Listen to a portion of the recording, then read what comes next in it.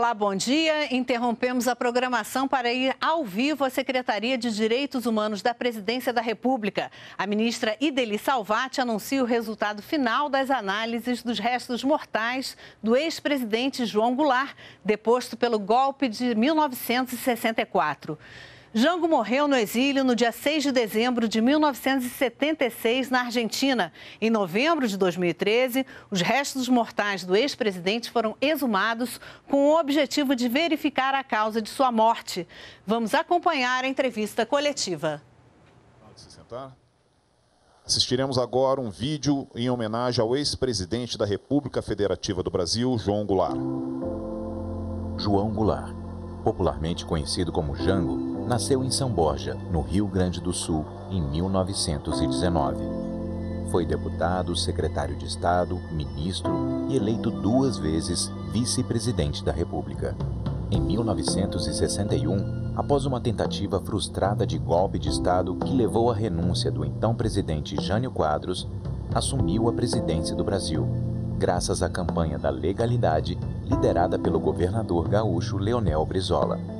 Durante seu mandato, defendeu reformas em setores estratégicos do país: agrário, educacional, tributário, administrativo e urbano.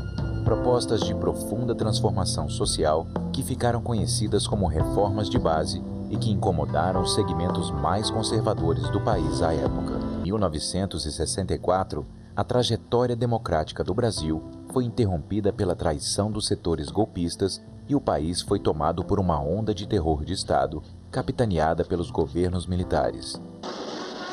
Porto Alegre, João Goulart fugiu para o Uruguai, seguido de Leonel Brizola e outros elementos do governo deposto. O presidente do Congresso Nacional, baseado em uma falsa notícia de que Jango havia deixado o país, declarou vaga a presidência da República.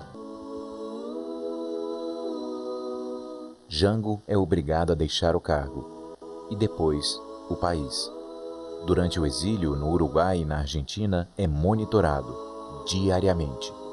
Fato comprovado por documentos oficiais da Operação Condor, um acordo de cooperação entre as ditaduras civis militares para perseguir e reprimir quem lutava contra esses regimes no Cone Sul. Afasta de mim esse cálice.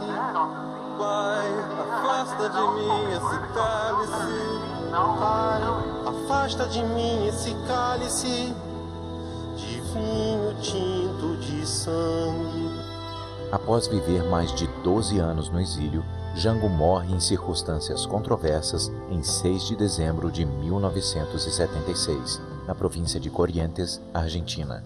Na certidão de óbito, um único registro relata uma causa de morte genérica, enfermidade seu corpo nunca passou por uma autópsia. No começo dos anos 80, quando as ditaduras do mundo começam a ser esmiuçadas, surgem suspeitas de que Jango teria sido envenenado em uma ação da Operação Condor. A principal suspeita é de que agentes infiltrados teriam trocado seus remédios. Assassinato? Mistério? Segredos? Conspiração? São muitas perguntas, mas poucas respostas. Nós solicitamos, através do Instituto Presidente João Goulart, que o Estado brasileiro, como Estado, né, e nós, não nós como família, investigasse né, a morte de seu ex-presidente.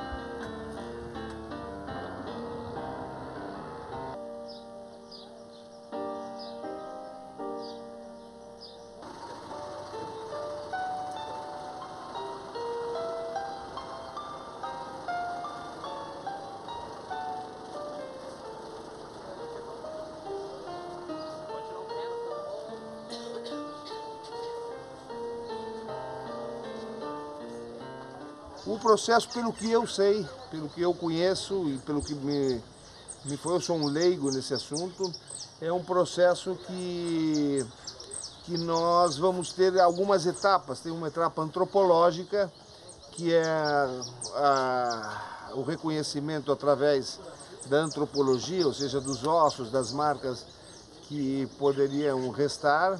Outro processo é o processo de DNA. Depois nós teremos o processo toxicológico, que já é um processo bem mais difícil, que, que, é, que serão feitos por laboratórios internacionais. Não foi à toa que tivemos todo esse período de planejamento, justamente de forma que nós pudéssemos trabalhar tanto a análise antropológica como a análise DNA e, e também a coleta das amostras para análise toxicológica, de uma forma que nós pudéssemos estruturar dentro desse tempo e com a presença do, do, dos nossos peritos que estão trabalhando conosco, dentro de um trabalho compartilhado, isso tem que ficar claro, com a Cruz Vermelha, ela como observadora mais os peritos, argentinos, cubanos e uruguaios como parceiros trabalhando junto com a Polícia Federal nesse processo.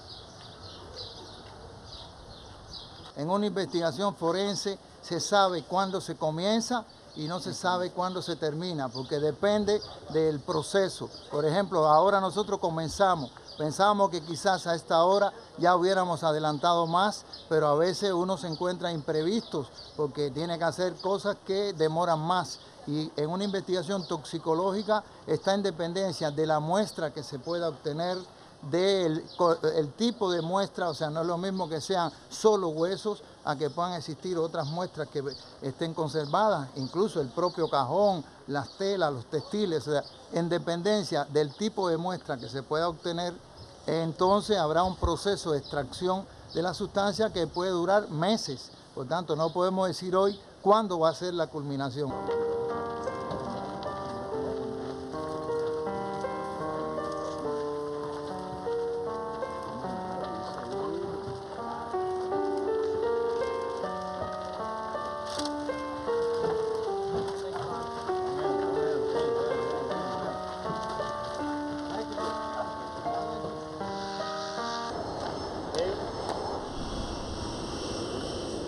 Jango, é, depois de 37 anos da sua, da sua morte, ele retorna a Brasília como, como um chefe de Estado, como ele merece, como, com as honras que ele nunca teve.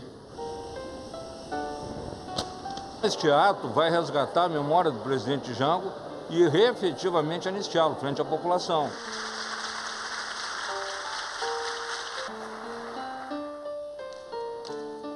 Hoje nós estamos aqui concluindo um primeiro passo desta grande caminhada, que é averiguar toda esta possibilidade de que a morte do presidente João Goulart tenha sido é, provocada. Tudo isso é, vai gerar uma discussão muito grande para os jovens hoje que estão se formando, se perguntarem quem é Jango, quem foi Jango, por que, que um ex-presidente está sendo exumado, é, o que, que aconteceu nessa, nesse tempo, né?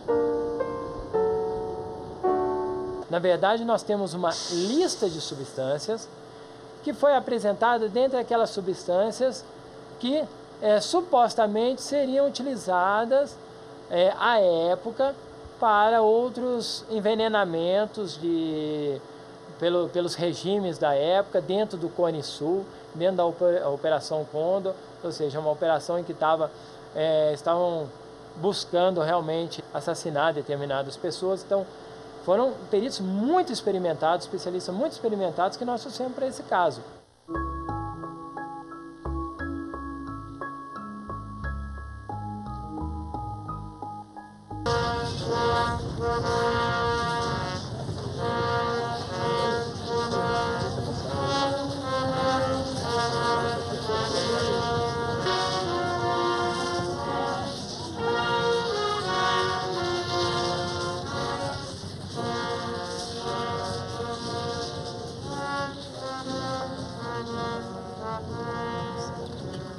Esto es la reconstrucción de la verdad histórica, o sea que estamos buscando eh, los elementos de la base de la democracia. Por tanto, cuando un país es capaz de abrir las puertas y abrir todos los documentos y abrir todas las investigaciones necesarias para saber qué fue lo que pasó, eso es una fortaleza de su democracia, eso es expresión de que verdaderamente el país eh, se siente fuerte ante el mundo y puede hacer una investigación como esta, porque no tiene nada que ocultar.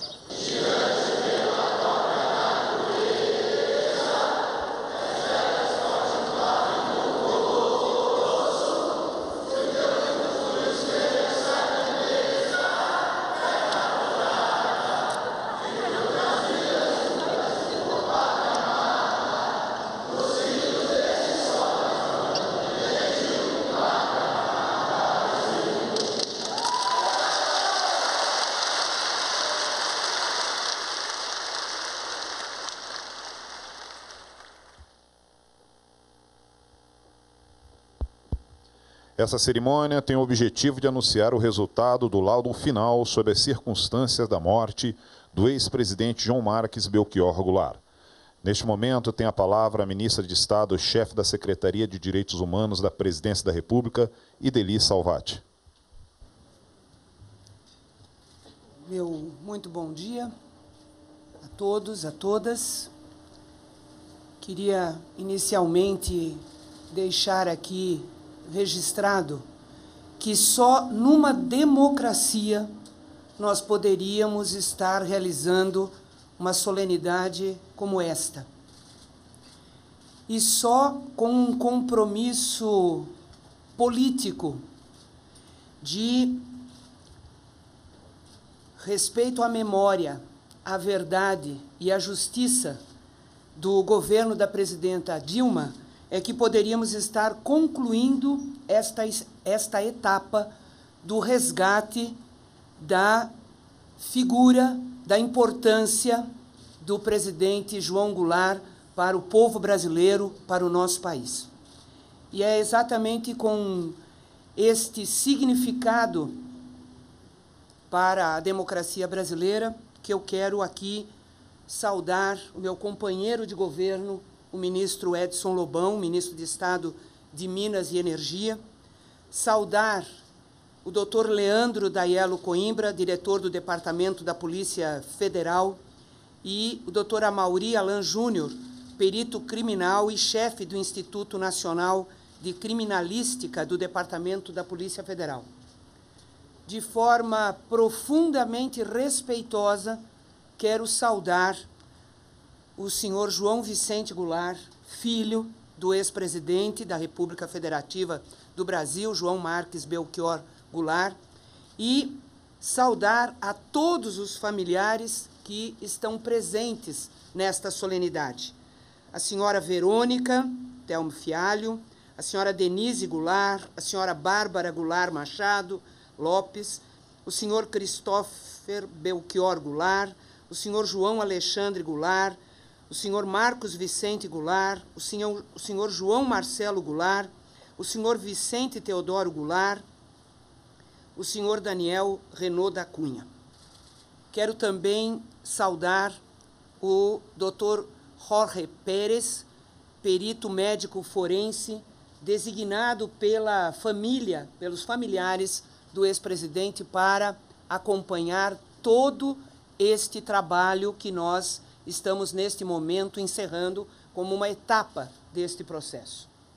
Queria também agradecer a presença do Dr. Aurélio Veiga Rios, Procurador Federal dos Direitos do Cidadão do Ministério Público Federal, do Dr. Vadi Damus, presidente nacional da Comissão Nacional dos Direitos Humanos da nossa querida Ordem dos Advogados do Brasil, do senhor Cláudio Souza Neto, secretário, doutor Cláudio Souza Neto, secretário-geral do Conselho Federal da OAB, o doutor Lourenço Carafe, chefe da delegação regional do Comitê Internacional da Cruz Vermelha para Argentina, Brasil, Chile, Paraguai e Uruguai, da senhora Olga Lúcia Barragan Amaya, assessora forense da delegação regional do Comitê Internacional da Cruz Vermelha, a doutora Maria Eugênia Gonzaga, que preside a Comissão Especial sobre Mortos e, de, e Desaparecidos,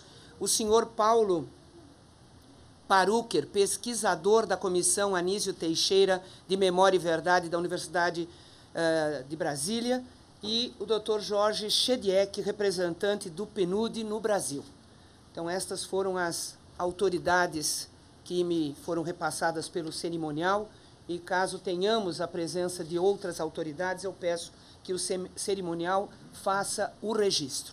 Queria aqui também, nesta abertura, fazer o agradecimento às equipes de peritos que nos ajudaram em todo esse trabalho. De forma muito especial aos peritos do Departamento de Polícia Federal, que tiveram uma dedicação eh, excepcional nesse trabalho. O doutor Alexandre Rafael Deitos, o doutor Amauri Alain Martins de Souza Júnior, a doutora Gabriele Rampel, o Dr. Jefferson Evangelista Correia e o Dr. Jorge Marcelo de Freitas. Os peritos argentinos que não puderam comparecer na etapa final por estarem acompanhando o processo lá das crianças desaparecidas no México, mas que tiveram contribuição na quase totalidade do processo. A doutora Mariana Soledad Selva e a doutora Patrícia Bernardi. Representantes peritos do Uruguai, a doutora Alicia Luziardo e o doutor José Lopes Mas. Uh, de Cuba, que é o indicado pela família, o do, doutor Jorge Pérez. Do laboratório espanhol, o doutor Aurélio Luna Maldonado. Do laboratório português, o doutor Mário Dias. Que acompanharam todo este processo pelo Ministério Público Federal, Len, doutora Lenine de Carvalho e o doutor Sami El Jundi, que inclusive está presente, quero aqui fazer uh, o registro. Pelo Comitê Internacional da Cruz Vermelha, Dr. Felipe Donoso, doutora Olga Barragan, que está presente, presente e o Dr. Udo Krenzer. Então, os nossos profundos agradecimentos a todos os que se envolveram durante todo este processo. Este, este processo teve uh, início em 2007, quando os familiares solicitaram ao Ministério Público Federal a abertura né, das investigações para apurar as, a causa da morte do ex-presidente João Goulart. Em 2011, os familiares encaminharam também esse pedido à Secretaria de Direitos Humanos da Presidência da República. E em 2013, os familiares também encaminharam para a Comissão Nacional da Verdade. E, a partir da decisão política de realizar este, este laudo pericial, uh, determinada pela presidenta Dilma, nós tivemos, durante todo este processo, uma participação plena dos familiares em todos os momentos. Não houve nenhum procedimento que um familiar ou alguém designado pela família não acompanhasse presencialmente, participando de todos os encaminhamentos. Tivemos também, para efeito de transparência, o acompanhamento do Ministério Público Federal e da Cruz Vermelha. E é importante, nesta abertura, também deixar consignado que um laudo pericial é parte de um processo investigativo. Ele não é uma, uma conclusão em si.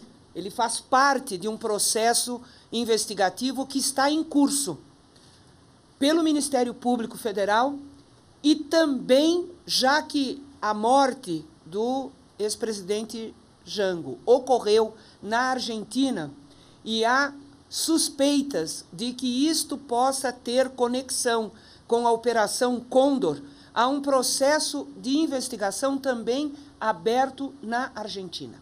Então, é de suma importância realçar que nós, uh, ao concluirmos esse trabalho pericial, uh, nós estamos concluindo parte de um processo investigativo que está em curso tanto no Ministério Público do nosso país, como também na Argentina. Por uh, deliberação tomada hoje pela manhã, a pedido das, da, dos familiares, o laudo que está aqui será revisado pelos familiares, porque toda e qualquer imagem será absolutamente preservada. Não será entregue nem à Comissão Nacional da Verdade, nem ao Ministério Público Federal e nem às autoridades argentinas. Ficará sob a guarda da Polícia Federal para que, caso alguma destas autoridades tenham necessidade de acessar as imagens, o façam sob a guarda da Polícia Federal, porque há um compromisso in, assim, inarredável do governo brasileiro de preservar a, as imagens e a privacidade da família uh, do ex-presidente João Goulart. Então, essa decisão nós tomamos pela manhã e faremos né, cumprir agora à tarde para que amanhã nós possamos encaminhar aquilo que a família entende que não causará qualquer tipo de prejuízo né, à imagem do nosso ex-presidente João Goulart e respeitando a privacidade dos familiares. por último, eu quero dizer também que este laudo é parte de um processo de exumação, não dos restos mortais de uma pessoa, mas é a exumação, é parte da exumação da história do nosso país. E, inclusive, do resgate da pessoa, do significado e da importância que teve o presidente João Goulart para o nosso país, para a democracia brasileira e para os avanços que nós pudemos ter em determinados períodos da história do nosso país. Então, concluir esta etapa é concluir uma etapa do processo investigatório e concluir uma etapa do, do resgate da memória de um grande brasileiro que foi, sem sombra de dúvida, o ex-presidente João Goulart. Por isso que eu abri né, esta solenidade exatamente com as palavras de que só numa democracia nós podemos fazer isto. Nenhuma ditadura uh, executa um processo de investigação e de resgate da memória, da justiça e da verdade. Então, é com estas palavras que eu quero abrir e quero imediatamente passar né, a palavra à Polícia Federal Brasileira, na pessoa do doutor Leandro, que vai designar quem irá apresentar o, o resultado da perícia, do laudo pericial.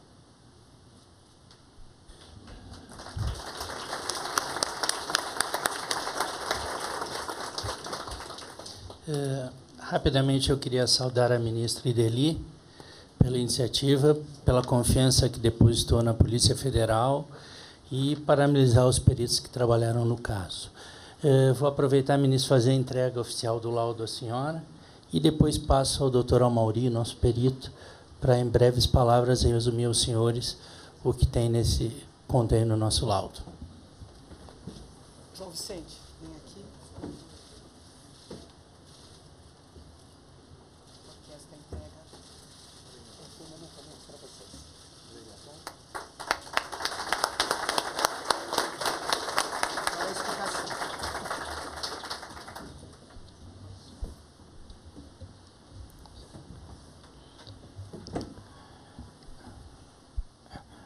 É, bom dia a todos.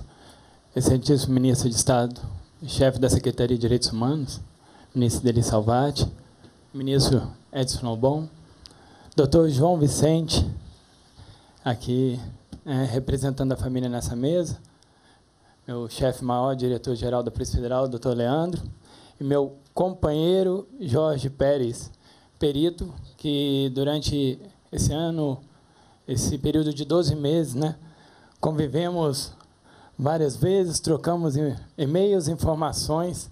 Saúdo o senhor que trouxe muita experiência para nós. Farei essa apresentação em dois atos. Na realidade, farei um breve histórico do que nós fizemos e depois permita-me, ministro, passar a palavra ao Dr. Jefferson, que resumidamente apresentará os resultados. Bom, só relembrando a todos, esse, esse trabalho pericial é, por solicitação da Comissão Nacional da Verdade é, foi e da Secretaria de Direitos Humanos, foi coordenado pela Polícia Federal, né, e principalmente por um desejo da família que confiou nessa, nesse trabalho nosso. Foi um trabalho é, coordenado, um trabalho em que consistiu de várias é, reuniões, até definição de protocolos, definições de formas de atuação. E por isso mesmo ele teve que ser tratado e, e feito minuciosamente. Como a ministra já mencionou, contamos com laboratórios internacionais, Dr. Mário e sua equipe, Dr. Lune e sua equipe, que durante um bom tempo ficou aí trabalhando com a gente, principalmente nas questões de análise toxicológica. Na última semana, justamente culminou com a reunião dos peritos para finalizar o laudo. Tá? Esse laudo, digamos, finalizar, porque durante todo esse período de um ano, vários documentos foram produzidos envolvendo cada etapa dos trabalhos periciais, desde o reconhecimento do local que foi feito em agosto do ano passado, passando pelo processo de exumação, processo de necropsia, de análises odontológicas, de análise de DNA, combinando com os exames toxicológicos. Então, dessa forma que foi conduzido esse trabalho, sempre coordenado e integrado e em consenso entre os peritos. Isso é muito importante, pois uma equipe internacional, uma equipe de vários peritos, é, intercâmbio de informações, nós conseguimos produzir um documento consensual. Não existe nenhum documento apartado por uma discordância ou outra. Tá? E só para terminar a minha fala, eu tenho que ressaltar aqui, tanto por parte do Estado e do governo brasileiro, como por parte da família, em nenhum momento nesse ano de trabalho tivemos qualquer tipo de pressão ou qualquer tipo de tentativa de manipulação. Como sempre trabalhou a Polícia Federal independente, assim se cumpriu e assim se fez. Doutor Jair está aqui, participou, do diretor técnico científico, participou de todas as etapas conosco. Ele é prova e testemunha disso. Permita-me chamar o Dr. Jefferson para, resumidamente, passar a parte dos trabalhos periciais.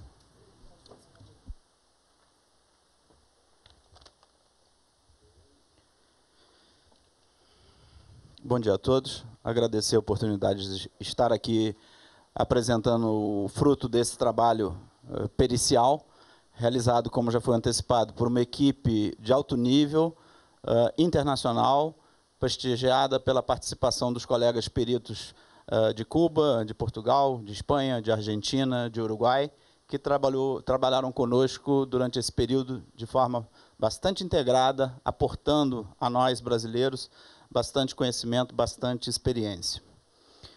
Uh, em maio de 2013, começamos a organizar um grupo, né, pela decisão uh, do governo brasileiro, começamos a organizar um grupo uh, que é, mais tarde, em novembro, se consolidou através de uma publicação formal da Secretaria de Direitos Humanos, uma portaria de constituição de um grupo internacional uh, para investigação pericial uh, da causa da morte de João Goulart. Uh, os trabalhos preliminares que fizemos de maio a novembro incluíram a pesquisa de dados históricos, de dados da uh, saúde e da doença do presidente.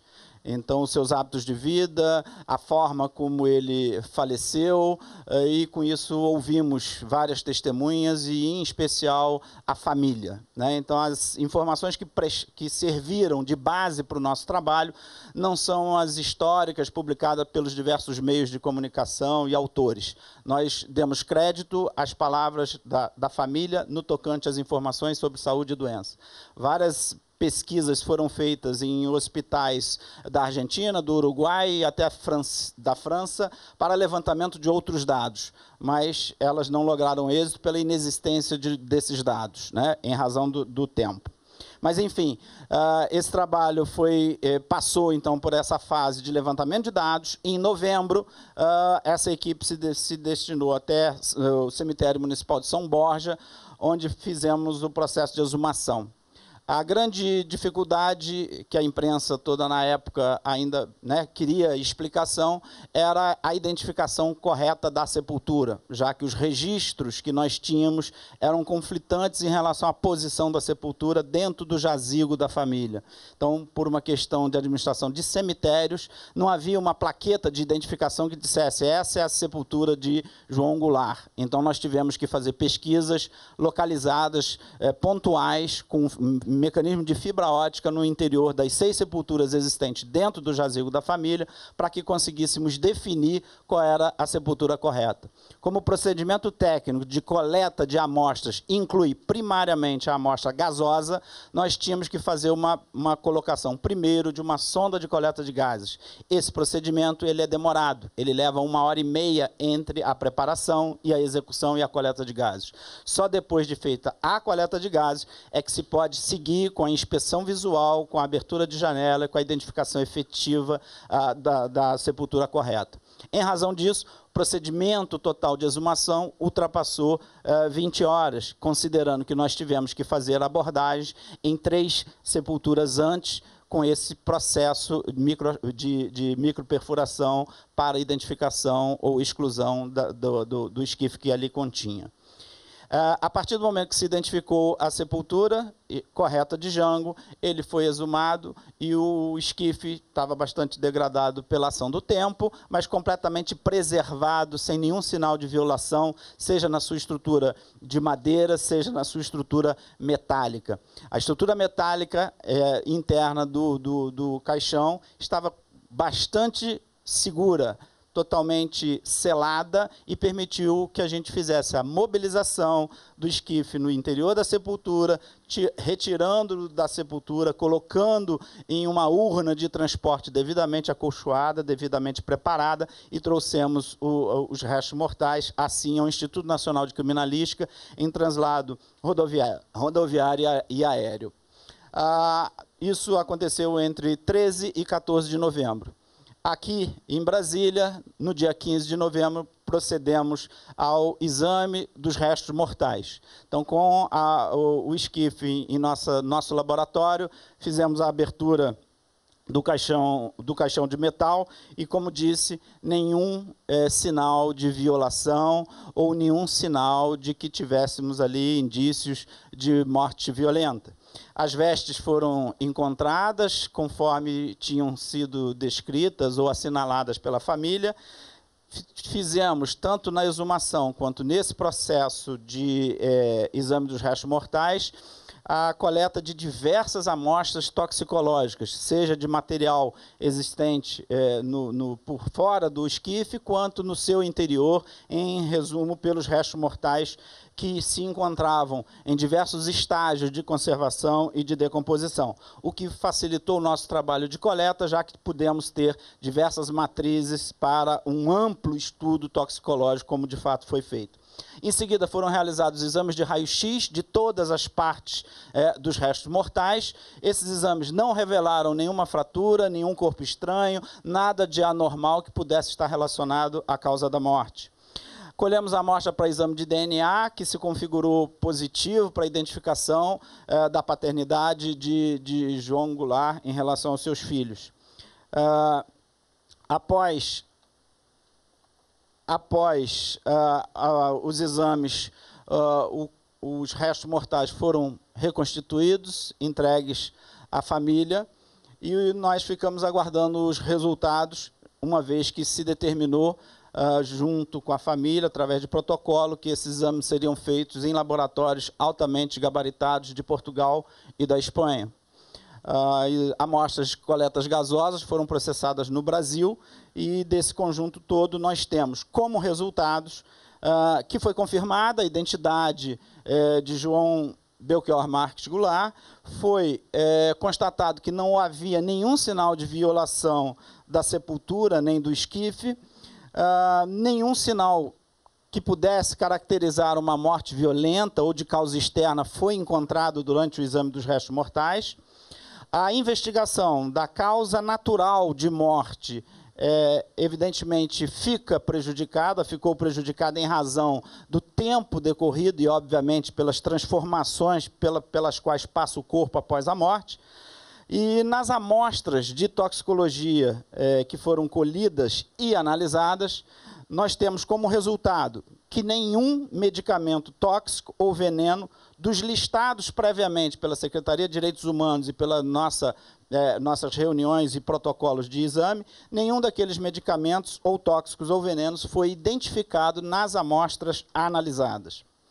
Uh, uma outra pergunta que nos fez uh, uh, o demandante desse exame era se havia alguma outra substância que pudesse, pudesse ter causado a morte e não se encontrou também nestas amostras é, é, examinadas nenhuma substância tóxica ou medicamentosa que pudesse ter é, causado a morte. Ah, as, as, análises toxicológicas confirmaram ainda a presença de algumas substâncias eh, contaminantes habituais de ações do nosso dia a dia, como vestígios de shampoos, vestígios de medicamentos. Inclusive um deles, medicamento típico para doença coronariana, que é compatível com a história né, clínica do, do, do ex-presidente, mas também esse medicamento dentro do seu limite terapêutica, ou seja, não havia vinculação ou possibilidade disso como um quadro de intoxicação. Então, a ressaltar desse resultado, né, é que todos esses procedimentos, eh, nós estamos entregando um laudo final que tem é, mais de 10 anexos e cada anexo corresponde a uma etapa dos exames realizados. Então, temos um anexo para a exumação, um anexo para o, o exame dos restos mortais, um anexo para a toxicologia e assim por diante. É, é, a perícia, né, cabe ressaltar nesse momento que a perícia é um ato objetivo, ela não é um ato emocional. A perícia lida com vestígios, lida com provas materiais, ela não trabalha a, o subjetivo. Então, ainda que as notícias, as circunstâncias possam contribuir para esclarecer ou nortear investigações policiais, a perícia é fria, ela é limitada e só responde quando tem elementos de convicção carregados pelo rigor científico dos exames que faz. Neste caso em especial, nós tínhamos um conjunto enorme de dados de contexto político e histórico que não influenciaram as nossas análises.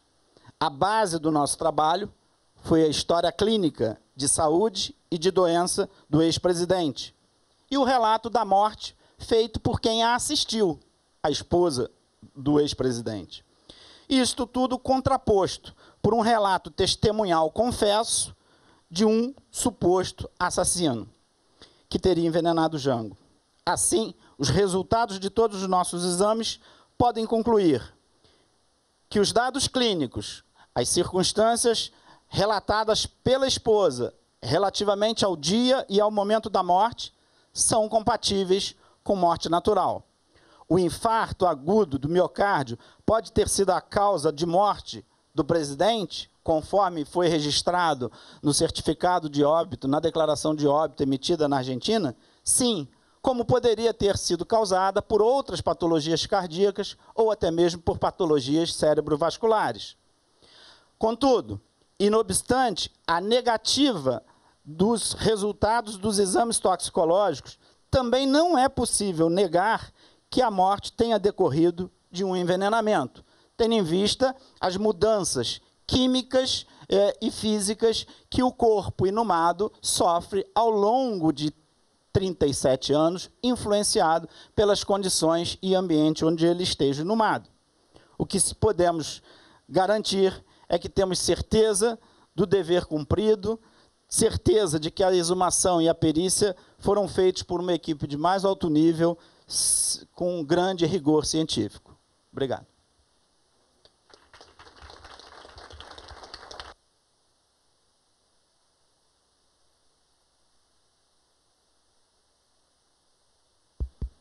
Neste momento, nós gostaríamos de registrar e agradecer a presença do representante da Comissão Nacional da Verdade, senhor Pedro Luiz Lemos Cunha, senhor Iver Zog, presidente do Instituto Vladimir Zog, senhor Paulo Abraão, secretário nacional de Justiça e presidente da Comissão de Anistia do Ministério da Justiça, representantes do Ministério da Defesa, os senhores Edmundo Miller e o senhor Salvo, Sávio Luciano Filho.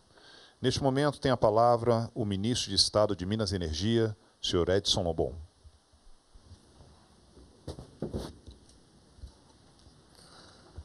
Minha querida amiga e colega, ministra Ideli Salvati, senhor diretor da Polícia Federal, Leandro,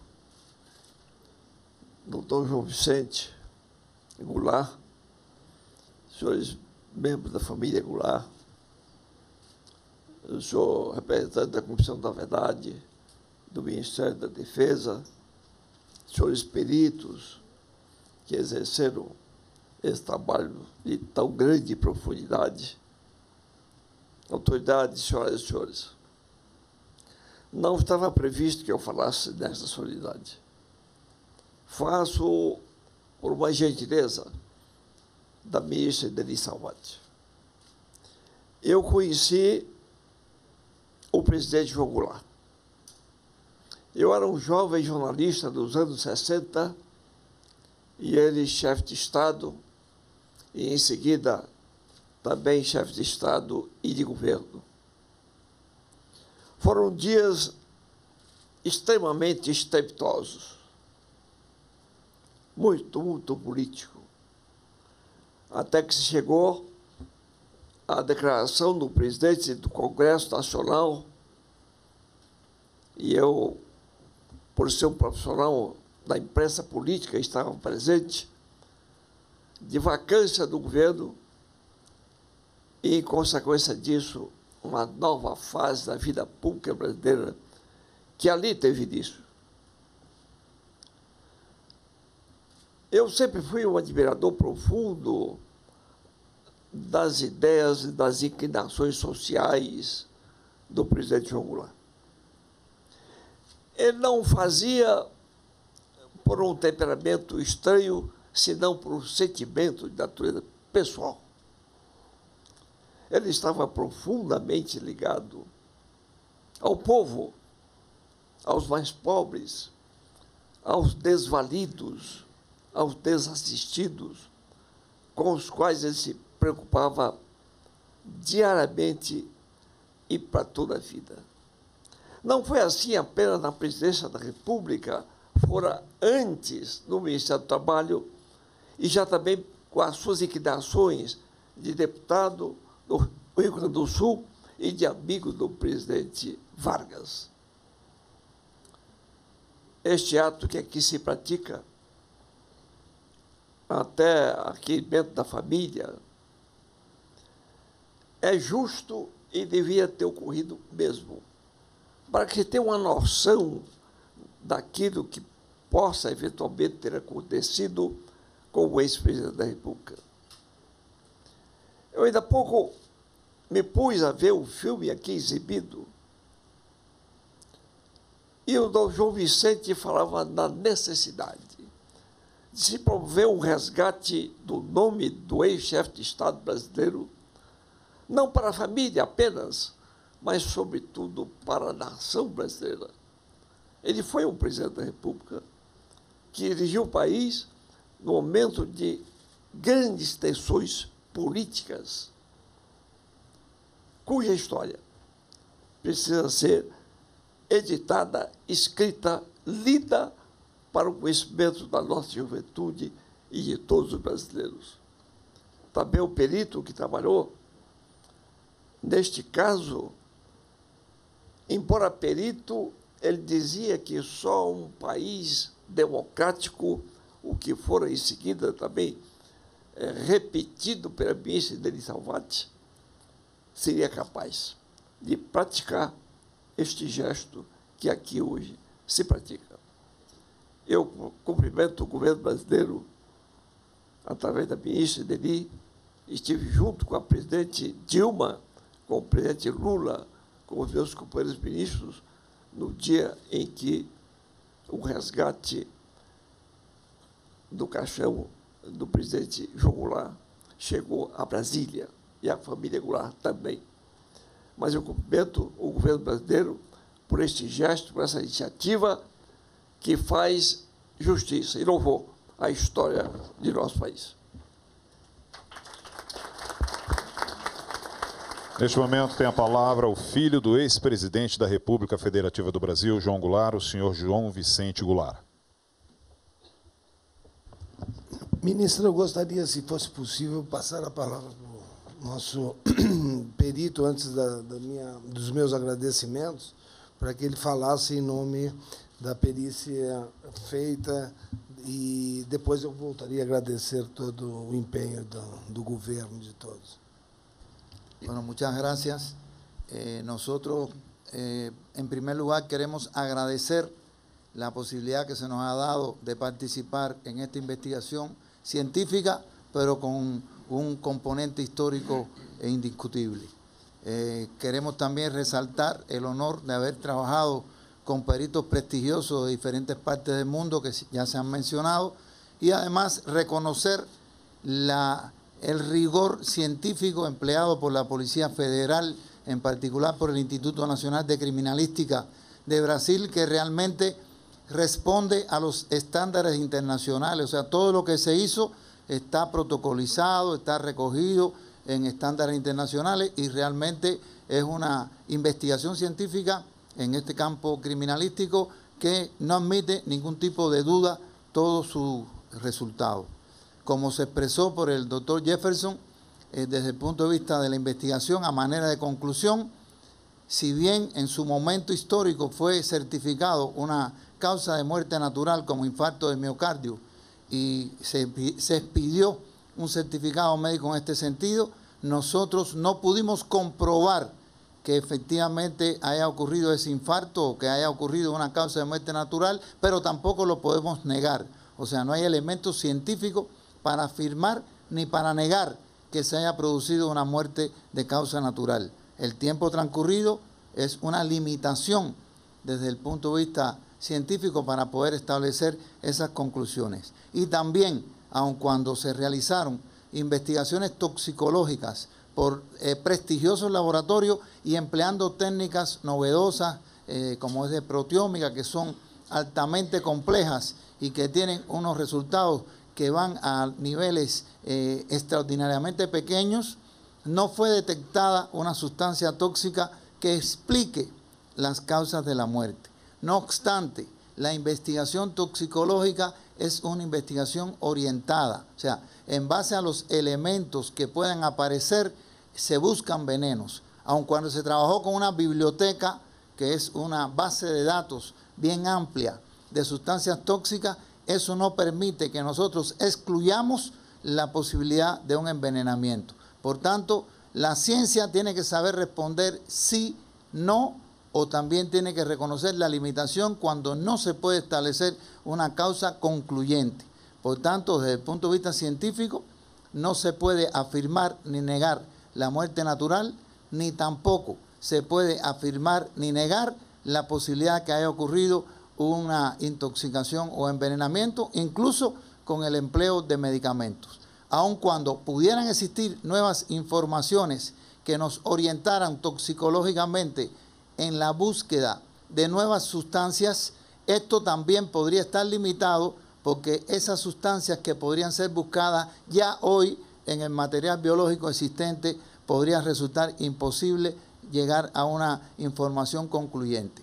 Por tanto, desde el punto de vista científico, las dos posibilidades se mantienen y esto ya un poco alejado de mi condición de perito, pero por la experiencia que tengo en el ámbito judicial, hace que no pueda ser excluida la causa de muerte violenta y por ende es eh, conveniente la continuidad de los estudios desde el punto de vista de otras áreas del conocimiento, de la búsqueda de información, de la búsqueda de otros materiales que puedan ser evidencias, que puedan ser conclusivas en relación con la muerte. Agradezco una vez más la confianza depositada en la familia, en nosotros, a pedir nuestra participación y ratifico lo que hemos dicho en otras oportunidades, que esto es una expresión de democracia del Estado brasilero y que realmente nosotros creemos que debe ser tomado como un ejemplo positivo para el mundo de que la verdad siempre hay que tratar de buscarla y abrir las puertas para llegar a ella. Muchas gracias.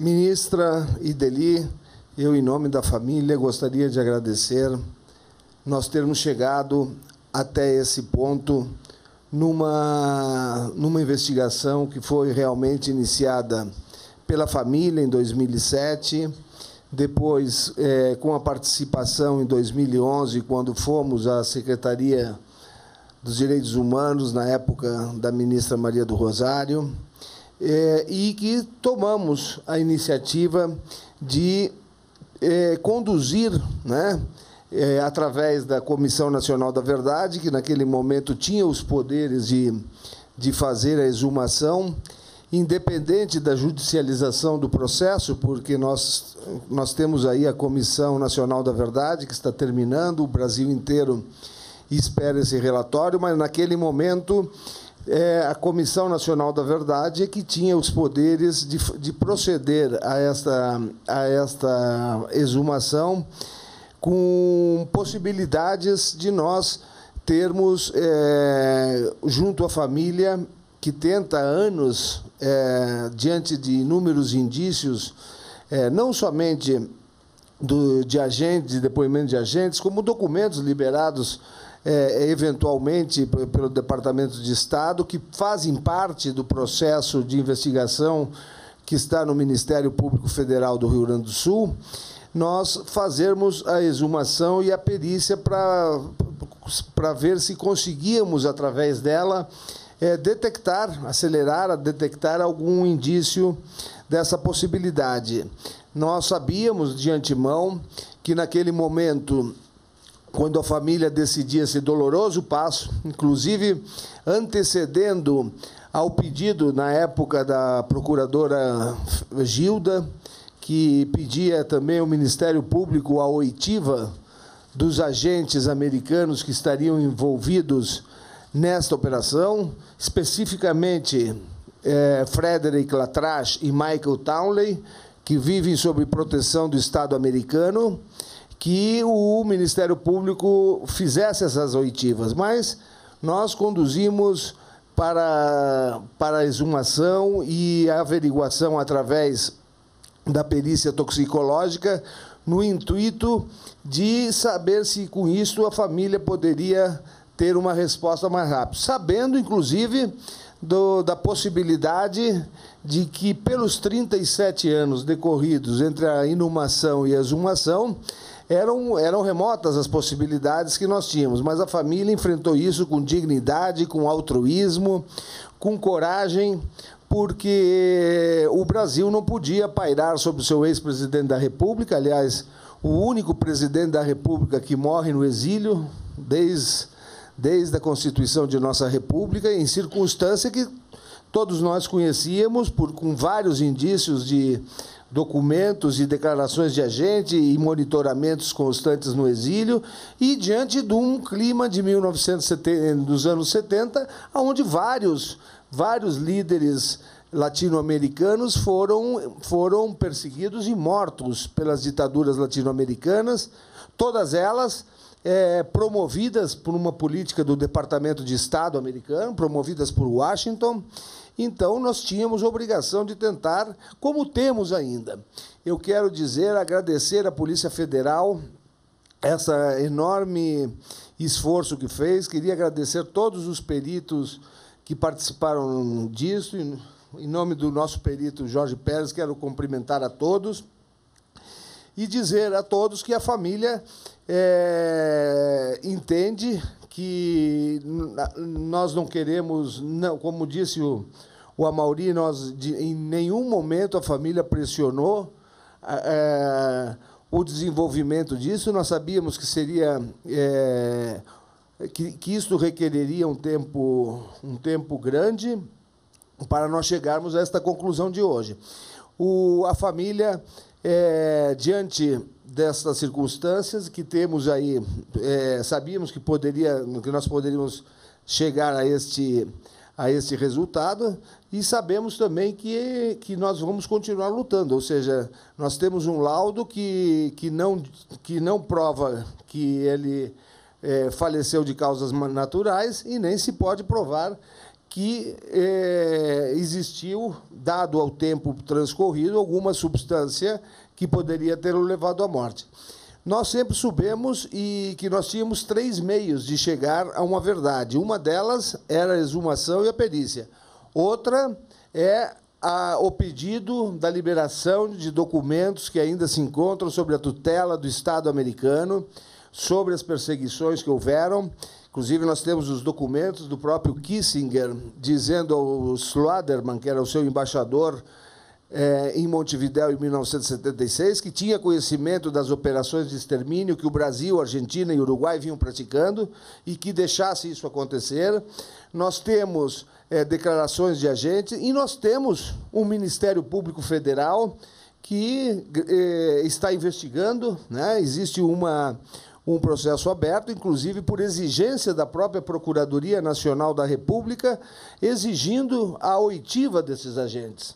Então, eu acredito no Ministério Público Federal, eu acredito que nós, em cima desse processo democrático, dessa construção da democracia brasileira, diante da construção da consciência de todos nós brasileiros que vivemos numa democracia, que vamos proteger a nossa democracia, e é que fortalecer essa democracia é que eu entendo que esse Ministério Público já foi solicitado abrir uma ação cautelar em nome do Brasil, com a coragem suficiente, com a soberania suficiente, de que o Brasil possa exigir e mandar, como outros países já fizeram, a oitiva dos agentes americanos.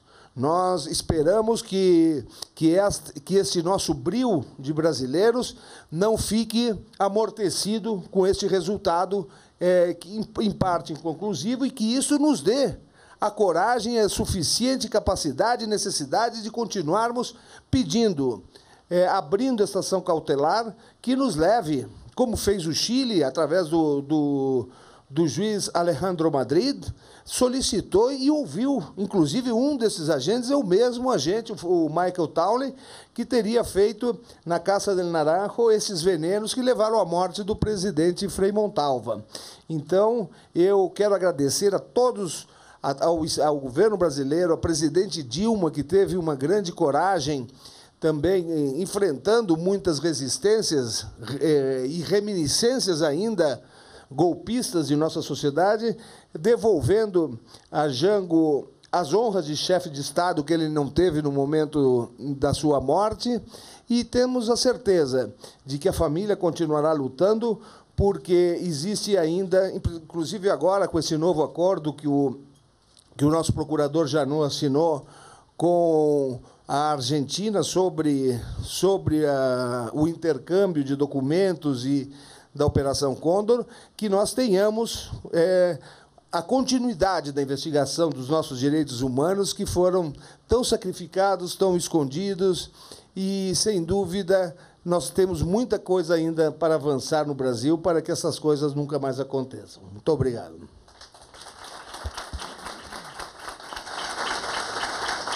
Ouviremos agora o pronunciamento da ministra de Estado, chefe da Secretaria de Direitos Humanos da Presidência da República, Ideli Salvati. Bom, em primeiro lugar, eu quero realçar mais uma vez que nós temos a compreensão, o governo brasileiro, o governo da presidenta Dilma, tem a compreensão exata de que o que nós realizamos e estamos hoje concluindo, que é o laudo pericial, é parte do processo investigatório.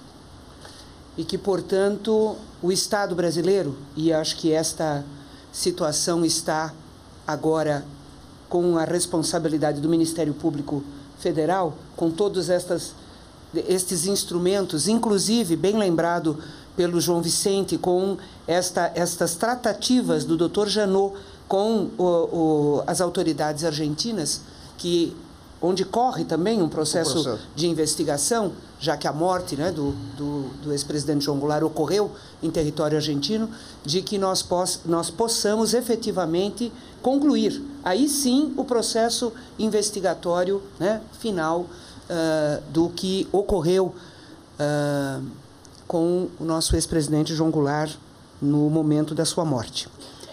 Em segundo lugar, eu quero também realçar que nós entendemos, o governo brasileiro entende, de que este laudo também faz parte de todo o processo de resgate do momento histórico que foi vivenciado na deposição né, do, do ex-presidente João Goulart, é, o seu exílio e tudo o que aconteceu no nosso país decorrente do, do golpe civil-militar, e que este processo da exumação para poder fazer o laudo pericial também fez parte do resgate histórico, né, do papel histórico que o presidente João Goulart teve no nosso país. Foi exatamente isto que permitiu que a presidenta Dilma pudesse dar as honras de Estado que foi negada na época da, da morte, como também nós tivemos no mesmo período a devolução simbólica do mandato do ex-presidente João Goulart né, pelo Congresso Nacional, numa cerimônia também extremamente expressiva, e dizer que esta compreensão de que, de que faz parte, muito bem lembrada aqui pelo ministro Edson Lobão, é resgatar de que em determinados períodos da democracia, os conflitos de interesse se acirram porque a democracia não é uma ausência de conflito. A democracia é você ter a condição de administrar os conflitos e respeito à institucionalidade. E nós tivemos, infelizmente, um desrespeito à institucionalidade quando ocorreu o golpe. Quando quem não tinha como impor né, determinadas ações e diretrizes e, e políticas uh, públicas resolveu utilizar da força para uh, executar o que uh, pretendia. Então, os compromissos com as causas populares progressistas do presidente João Goulart precisam ser resgatadas. Inclusive, nós tivemos naquele período uma situação de eleição onde era separado o voto de, de, presidente da República e vice-presidente da República. E eu acho que tem muito brasileiro e muita brasileira que desconhece o fato que na eleição que elegeu uh, Juscelino Kubitschek, o vice-presidente João Goulart teve mais voto do que o presidente eleito. Numa demonstração muito clara da popularidade e do compromisso do, do ex-presidente João Goulart pelo trabalho que ele já havia realizado como uh, uh, ministro né, do, Trabalho e, e, toda a sua vida política uh, anterior. Então, é, é, é, é este resgate também do papel histórico, do significado e principalmente para que a gente possa, com todo este procedimento, manter firme a, a deliberação da ampla maioria da população de manter o Brasil numa plena democracia e de que não permitamos, em hipótese alguma, que aqueles que advogam o autoritarismo, o golpe, a intervenção militar, que tenham espaço na sociedade brasileira. Porque uma democracia pode, como nós estamos fazendo hoje, dar andamento a um processo de investigação de uma morte. Uma ditadura pode matar sem qualquer processo de investigação. Então, eu acho que esta é uma diferença fundamental do que nós estamos fazendo aqui no dia de hoje para o resgate da história, o resgate da memória, da verdade e da justiça para com uh, o povo brasileiro e de forma muito especial para, como eu já tive a oportunidade de dizer, um grande brasileiro que foi o ex-presidente João Goulart. No, no, no momento da, das honras militares ao ex-presidente João Goulart, a cena que mais me marcou, e eu quero aqui compartilhar com todos vocês, quando foi entregue a viúva do presidente João Goulart, a senhora Maria Tereza, a bandeira do Brasil, ela a abraçou. E quando alguém veio pedir se ela queria entregar a bandeira, João Vicente, o gesto dela foi muito significativo. Ela abraçou mais fortemente e fez um não muito enfático. O presidente João Goulart é um brasileiro que merece ser honrado, respeitado e ter o seu papel histórico permanentemente uh, elogiado e enaltecido pela, pela população brasileira. Então, eu acho que isso faz parte deste, deste processo que nós estamos realizando no dia de hoje. Muito obrigada.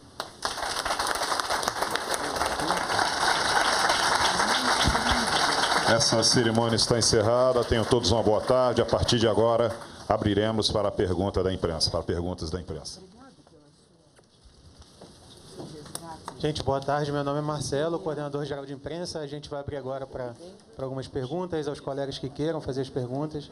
A gente vai manter a mesa aqui. Eu só peço para que falem no microfone, eu vou levar a quem quiser, identificar o nome e veículo, tá? João. Oi, alô. É, João, Folha de São Paulo. Eu só, eu só queria entender uma coisa. É, afinal, o laudo ele é inconclusivo ou o laudo ele aponta que as substâncias listadas não foram encontradas, mas outras substâncias que não foram listadas poderiam ter sido encontradas. Você... Cadê o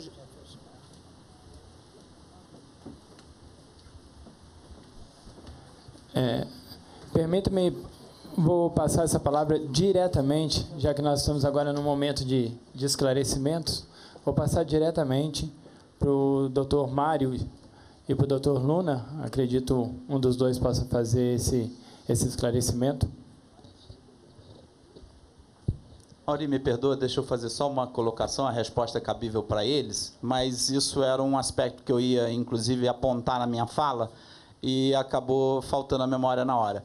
Na verdade, o laudo é inconclusivo quanto à causa da morte, se natural ou violenta.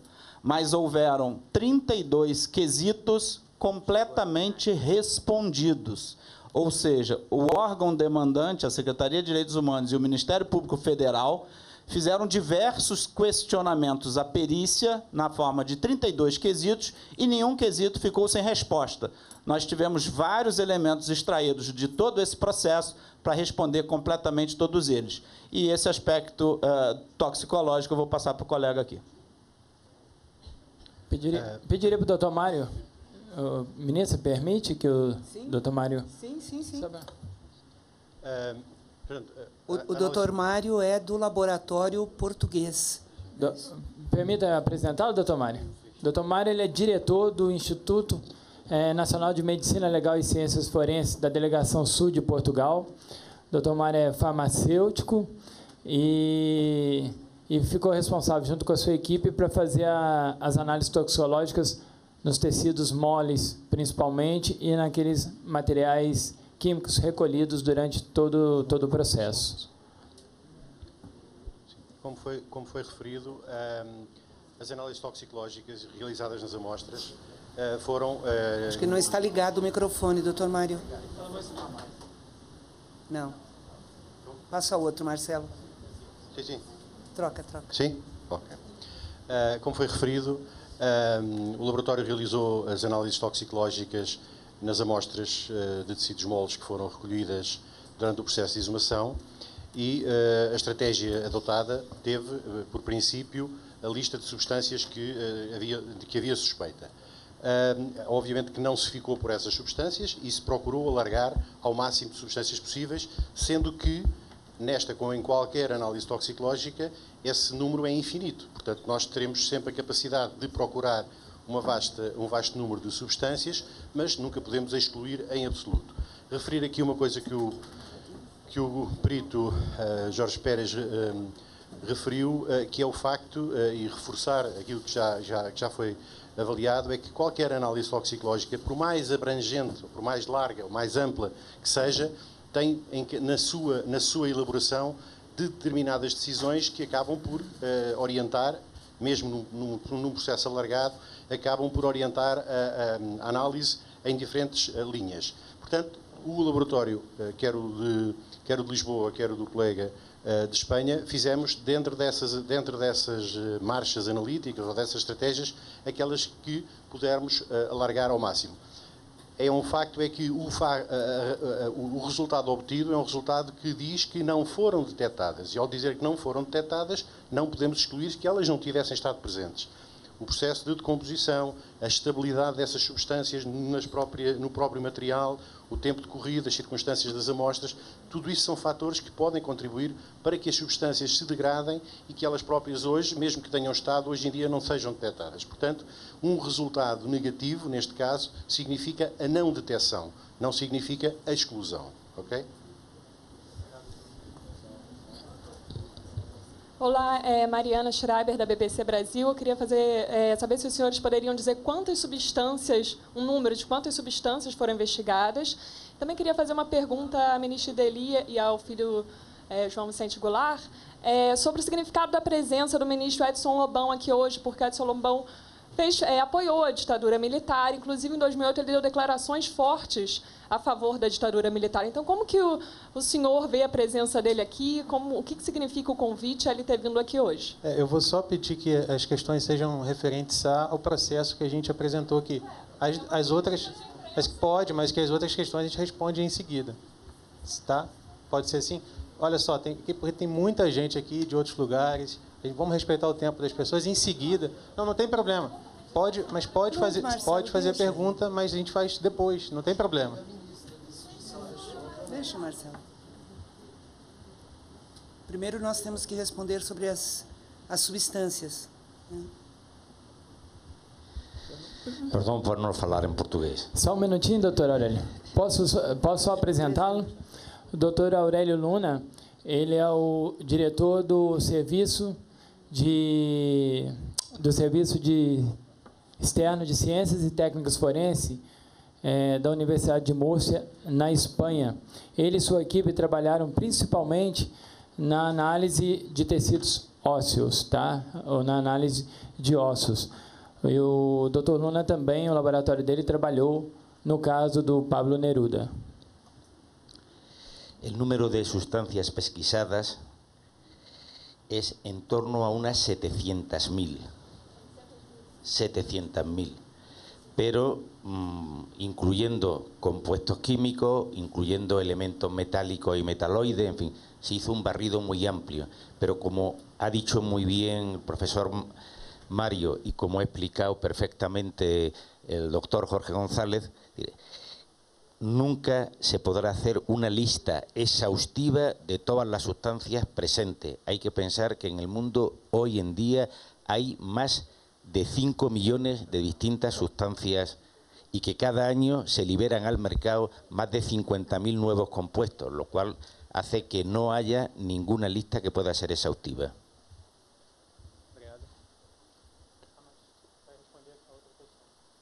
Ministra.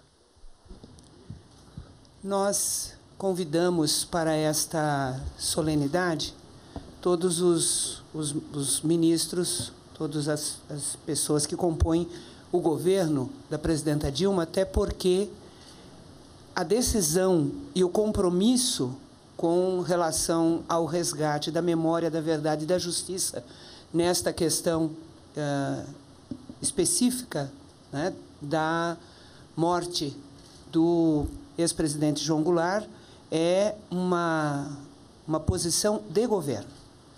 É, com relação a, a presença do ministro Lobão, seria interessante talvez perguntar a ele o que o trouxe à, à, à solenidade.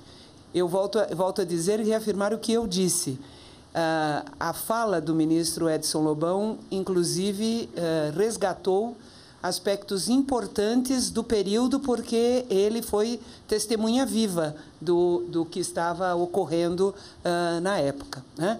E como eu sou uma, uma militante, é, assim, sem qualquer vacilação da democracia e da evolução da, das pessoas, eu fico mais animada quando alguém que, porventura, tenha apoiado e passa né, a, a defender o resgate da memória, da verdade e da justiça, do que como a gente tem assistido recentemente, pessoas que inclusive sofreram as consequências da ditadura estarem agora insinuando golpes e intervenções militares.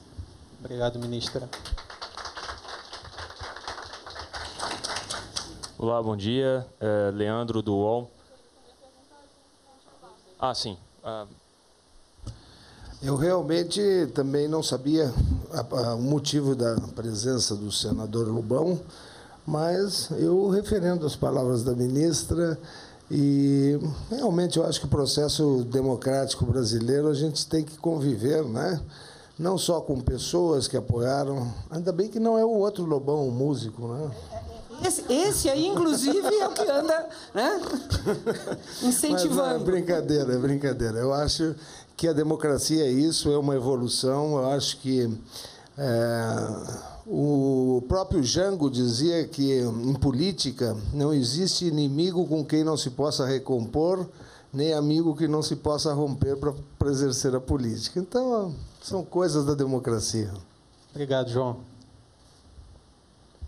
É, olá, Leandro do UOL. É, eu, sou, eu gostaria de refazer uma pergunta para que fique claro. É, nós aqui estamos é, um pouco confusos em relação às declarações que foram feitas anteriormente sobre o laudo e posteriormente. É, o que nós gostaríamos de saber é, afinal, é possível afirmar que uh, o ex-presidente João Goulart não foi envenenado? Uh, é isso que nós gostaríamos de saber. Quais são o, o que é que o laudo aponta? É um laudo inconclusivo ou ele é um laudo que diz, olha, uh, a, os exames constataram que ele foi, que ele morreu de morte natural, mas não descartamos isso. Nós gostaríamos de uma posição unificada a respeito disso.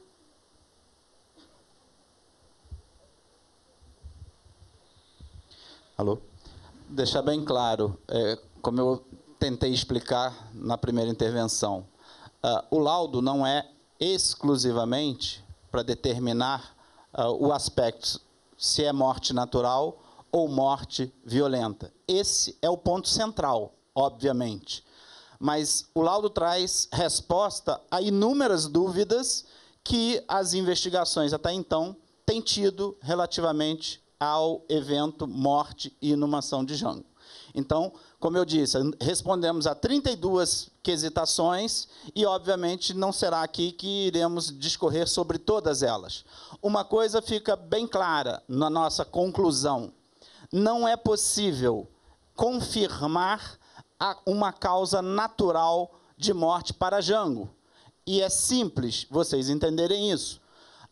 a declaração de óbito de Jango trazia infarto do miocárdio.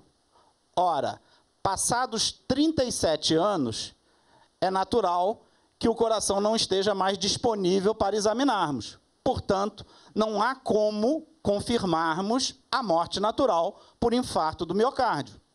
Por outro lado, no aspecto de morte violenta, envenenamento, já foi bem respondido aqui que não foram encontradas as substâncias indagadas aos peritos pela Secretaria de Direitos Humanos se elas poderiam ter causado a morte de Jango. Estas substâncias não foram encontradas.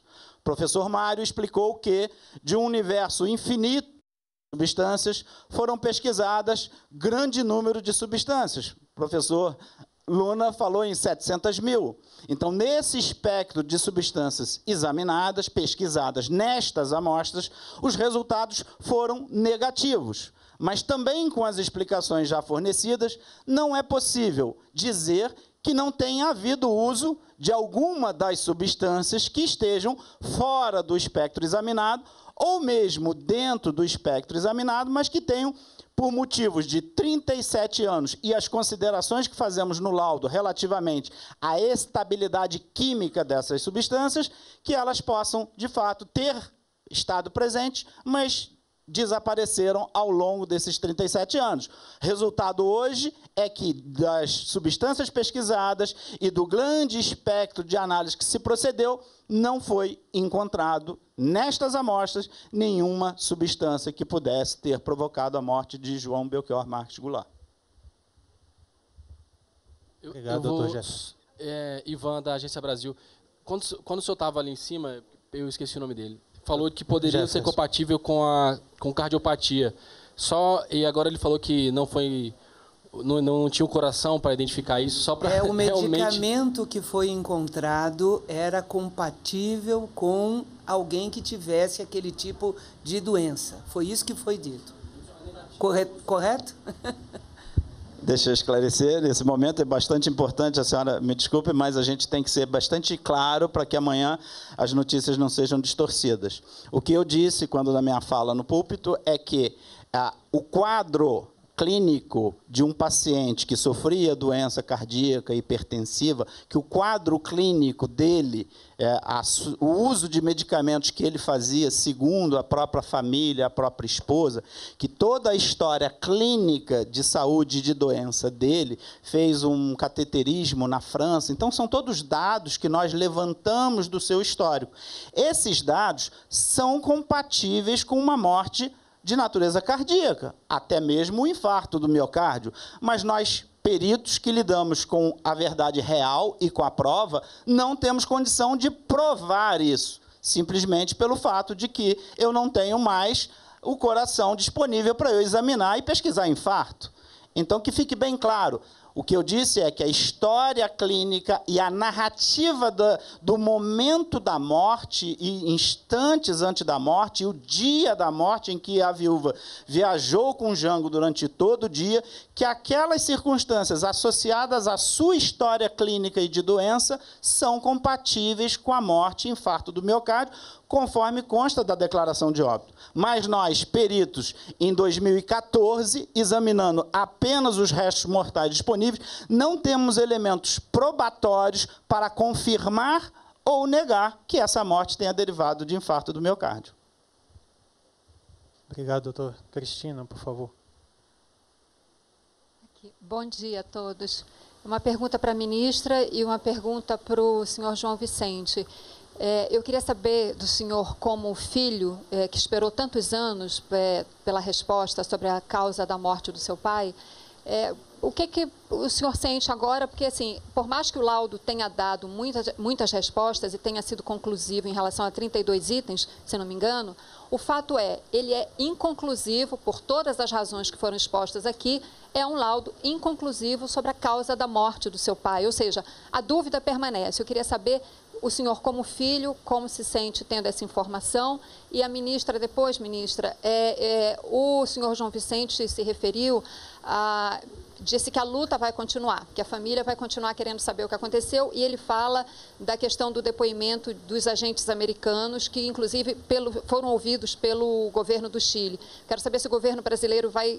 Que iniciativa o governo brasileiro pode tomar para ouvir esses agentes, se vai tomar e que iniciativa, quais seriam os canais para conseguir esses depoimentos. Obrigada. Veja só, a luta da família, desde que começaram a surgir esses boatos da possibilidade, né, porque isso, isso foi, foi surgindo ao longo do tempo. Inclusive, as primeiras informações de que, que poderia haver eh, alguma dúvida a respeito da morte dele surgiram em 1980, em plena ditadura ainda, né? governo Figueiredo. Então, desde aquele momento, se, se, se, se aventou a possibilidade, foi pedido, inclusive, por, por, por outras pessoas na Argentina que, que, que pedissem a exumação, mas desde aquele momento, evidentemente, que a família sabia que teria enormes dificuldades, não havia comissão da verdade, não havia debate sobre direitos humanos, não havia eleição presidencial. Ou seja, não- nós não vivíamos numa democracia. Então, evidentemente que, que a partir de aí e a partir da evolução da- do próprio processo democrático é que foram surgindo elementos. A própria declaração do, do agente Mário Neira Barreiro surge muito depois, quando um jornalista uruguaio vem, vem eh, entrevistá-lo, receber um prêmio de direitos humanos no Brasil e vem entrevistá-lo por outras coisas ocorridas no Uruguai, que foram as mortes aquelas, inclusive da Cecília Heber, que vitimou, era, era para o senador Heber, vitimou a, a Cecília Heber, a, o envenenamento dos vinhos, que ele fala de- da, da possível morte do presidente João Goulart, que era ele que monitorava ele no exílio, enfim. Então foram somatórios de coisas. Ainda quando no governo do presidente Lula, ah, que nós pedimos a presidente Dilma era era ministra da Casa Civil, nós, como Instituto Presidente João Goulart, solicitamos, ela nos entregou as primeiras liberações dos documentos secretos. Apareceram lá fotografias dos agentes do SNI dentro do aniversário de meu pai no exílio. Então, é um somatório de, de circunstâncias, depoimentos, posteriormente a liberação de documentos americanos do próprio, do próprio Henry Kissinger, que estava na África em 1976 passa um, um documento secreto ao seu embaixador, Slauderman, no Uruguai, e pede que ele não se meta nas, nas, na, nos operativos do, dos assassinatos seletivos que vêm sendo produzidos e que o Departamento de Estado tem conhecimento entre Brasil, Argentina e Uruguai. Isso, isso nós temos, está dentro do processo. Então, é um somatório de, de evidências, de indícios que a família vem tentando esclarecer. À medida que nós fortalecemos a democracia, nós fortalecemos a investigação. Nós chegamos hoje a esse ponto, e é um ponto que, sendo como foi feito o relatório, é, que nós não podemos afirmar. Eu digo sinceramente, se pudéssemos afirmar, olha, morreu, morreu de, de infarto, está comprovado, eu ficaria muito tranquilo, muito tranquilo, porque eu tenho dito em outras anteriormente a, a este laudo que eu pedi a Deus sempre que, que ele tivesse morrido, de, falecido de, de, de, um processo natural. Existem várias declarações minhas nesse sentido, mas uh, diante de que ainda temos um, um, um, um vácuo inconclusivo e temos agora outros aspectos de, de, de acordos internacionais, recentemente, a semana passada, assinado pelo pelo procurador Janot com autoridades argentinas, no sentido de que a Operação Condor estava em andamento, recentemente documentos encontrados na casa do, do, do ex-coronel Malhães comprovam a Operação Gringo, então, cada vez nós estamos avançando mais. É, se nós tivemos a obrigação, mesmo com dor, de chegarmos até, até esse ponto, nós vamos continuar. Eu estive com o embaixador argentino para saber, há, há alguns dois ou três meses atrás, e como estava o processo, que estava correndo em Passo de los Libres. O processo foi já deslocado para a Procuradoria-Geral da Nação Argentina, então é uma obrigação da família não dizer, ó, oh, morreu aqui, nós vamos à Argentina e vamos com esse laudo é, que foi produzido pela, pelo nosso governo tentar assistir criar novas, novas, no, novas é, condições de que a Argentina, se o Brasil não faça essa oitiva, essa oitiva dos agentes que estão nos Estados Unidos, a Argentina, sem dúvida, vai fazer. Assim como o Chile já fez na morte do presidente Frei Montalva. Então, é, a obrigação da família não cessa aqui num laudo inconclusivo. Nós vamos continuar, nós temos esperança de que novos, novos documentos possam ser liberados pelo Departamento de Estado e, principalmente, para, para não somente por Jango, nós, nós temos um Instituto Presidente João Goulart que luta pelos direitos humanos e podem haver aí outras novas circunstâncias.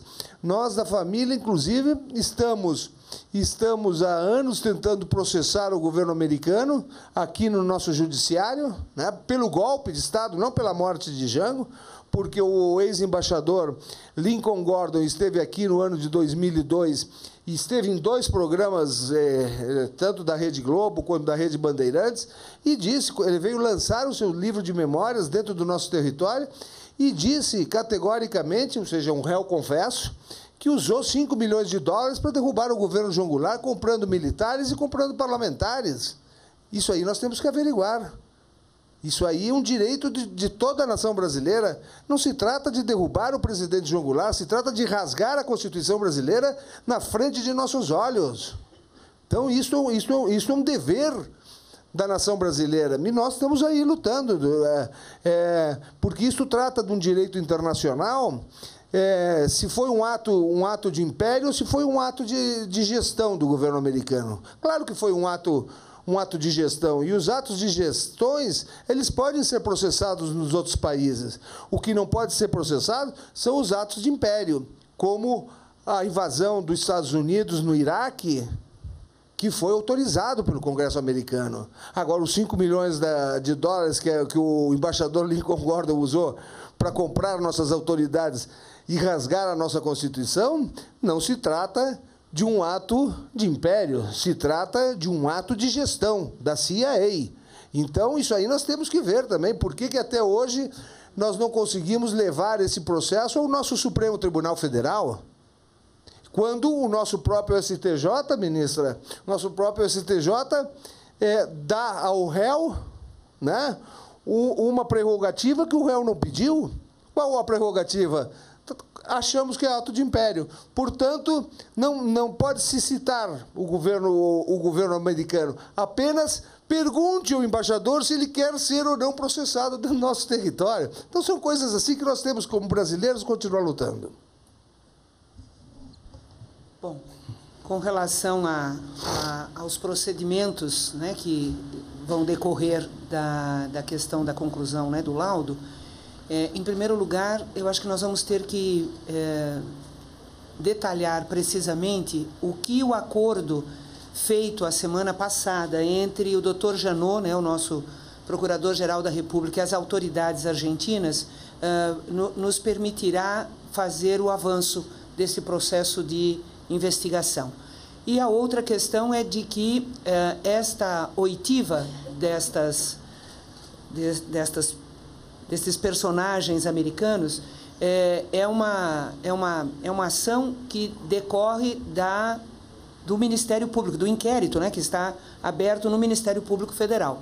Então, é claro que nós iremos uh, acompanhar muito atentamente tanto os procedimentos junto ao Ministério Público Federal quanto ao, a, a, a possibilidade da investigação também avançar né, neste acordo feito com a Argentina. E vamos uh, precisar também saber que recomendações a própria Comissão Nacional da Verdade dará, né, porque vai haver um capítulo específico na, no relatório da Comissão Nacional da Verdade sobre a questão uh, do, do ex-presidente João Goulart. Então, também uh, iremos aguardar. Agora, eu volto a reafirmar, entende? Enquanto executivo, né, governo federal, eh, nós cumprimos a nossa, a, a, nossa parte, né, a nossa responsabilidade nesta, neste processo, e aquilo que estiver ao alcance e na responsabilidade do governo federal será executado. Alô, boa tarde. Fernando do Portal Terra. Queria fazer uma pergunta para o perito Jefferson, uh, saber como é que é possível encontrar vestígios do medicamento, de doses terapêuticas do medicamento para cardiopatia, enquanto não se acha vestígios de envenenamento, que seria uma dose maior, imagino. Aí eu queria saber se por essa premissa uh, ganha força a tese de morte natural. Si me permiten voy a contestarle yo porque fui el responsable de... El hueso es un lugar donde se depositan sustancias y aguantan cierto tiempo después del fallecimiento y soportan bien el paso del tiempo. Y las concentraciones encontradas de las sustancias están por debajo de partes por millón y tienen relación con niveles terapéuticos. Si se encontraran en concentraciones mayores, entonces sí podíamos hablar de concentraciones o potencialmente tóxicas o que podrían estar en el límite del, de ese efecto terapéutico, de ese umbral de tolerancia. Las concentraciones encontradas son apenas vestigios y en ningún caso podrían tener un efecto negativo sobre la salud.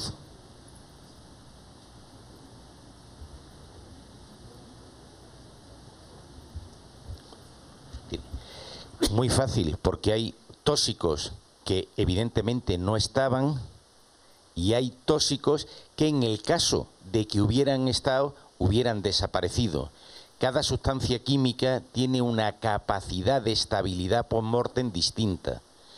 En función de esa capacidad de estabilidad, hay sustancias que no se pueden encontrar transcurrido un tiempo y hay otras sustancias que transcurrido mucho más tiempo se pueden encontrar sin ningún tipo de problema. Luciano.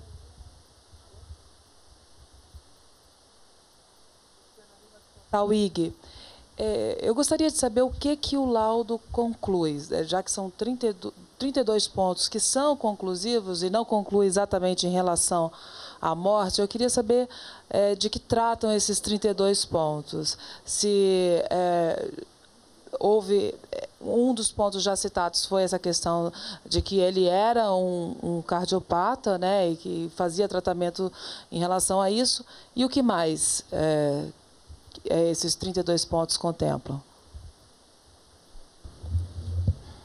É, são perguntas de, de todo o processo. Tá? Então, tem perguntas do processo de exumação, tem perguntas que se baseiam nas, nas declarações da Dona Maria Tereza. São perguntas que se relacionam especificamente com as substâncias que foram arroladas antes de iniciarmos o processo de identificação. São perguntas que tratam exatamente da questão que o Dr. Jefferson já levantou várias vezes de relação causa-morte, se violenta ou causa natural. É, perguntas também da, da, das questões toxicológicas, da possibilidade ou não de ainda existirem substâncias. Perguntas se realmente estávamos tratando do ex-presidente João Goulart. Então, são perguntas, quesitações naturais de um processo de um, de um, de um processo complexo. Perguntas desde identificação a, até a questões de, de motivos e motivações da morte. Vou passar a palavra para o doutor, doutor Jorge Pérez para complementar. Eu creo que lo primero que hay que lograr entender qué cosa es una investigación pericial y eh, digamos, una investigación toxicológica. La investigación toxicológica, cuando tiene resultados, esos resultados requieren una interpretación. O sea, un resultado toxicológico aislado no dice nada. El resultado toxicológico hay que llevarlo a una interpretación, porque igualito, o sea, igual que expresó el profesor Luna, que hay sustancias que pueden desaparecer también hay sustancias que pueden aparecer y que sin embargo no tienen nada que ver con el hecho de la muerte, o sea, producto de la propia descomposición del cadáver, en aparecen las llamadas tomaínas cadavéricas, etc. O sea, yo puedo encontrar una sustancia que pudiera pensar que es veneno y que es causa de muerte y sin embargo no lo es, porque no tiene nada que ver con el hecho de la muerte. Aquí hay que tener en cuenta lo siguiente cuando se hizo la investigación de la búsqueda de información científica, digamos, una historia clínica escrita por un médico, no aparece. Los documentos médicos de qué medicamento él tomaba no aparecen. El certificado, o sea, las, la, el momento, antes de llegar al momento de la muerte, la posible existencia de un infarto de miocardio anterior, no está la constancia médica. Eh, la posibilidad de un cateterismo que le fuera realizado en Francia, no está el documento. Jefferson lo explicó bien. Se fue a buscar información a hospitales en Argentina, en Uruguay y en Francia y no hay documentos. Por tanto, estamos partiendo de la memoria y la memoria es frágil y los peritos fundamentalmente trabajamos con evidencia, o sea, con lo que tenemos de realidad siempre se tiene en cuenta la historia para poderme orientar en la búsqueda de la causa de la muerte. Pero esa historia es una historia contada que no tenemos evidencia documental de ella. Cuando el certificado de defunción lo dio un médico pediatra que no era su médico de asistencia. Por tanto, es una persona que emitió un certificado en un momento solo tomando la información de la probabilidad de la causa de la muerte. En, mis, en mi vida pericial, que tengo unos cuantos años de perito, en mi vida pericial yo he encontrado en más de una ocasión a una persona que le certifican la causa de muerte como infarto del miocardio y lo entierran, después surgen informaciones de que pudo haber sido envenenado y lo exhumamos y efectivamente había sido envenenado, porque hay un por ciento muy grande, algunos autores consideran que hasta un 30% de los diagnósticos de infarto del miocardio son subjetivos, no tienen basamento científico. Incluso en este caso pudo haber muerto de una eh, hemorragia cerebral y el médico certificó infarto del miocardio. Por tanto, lo que existe es una duda científica en relación con la causa de la muerte, porque no ha sido probado, porque por demás en el laudo consta que no hubo una práctica de una necropsia.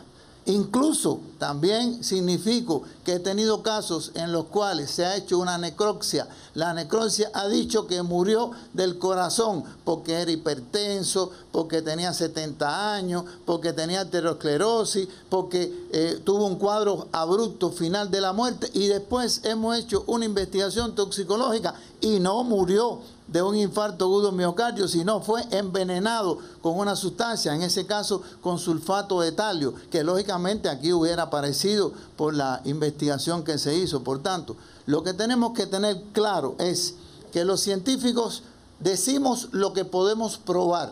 Yo diría, ¿cuántas personas hay hoy ingresadas en un hospital que el médico tiene el deseo de diagnosticarle la enfermedad que tiene y no hay diagnóstico de la enfermedad?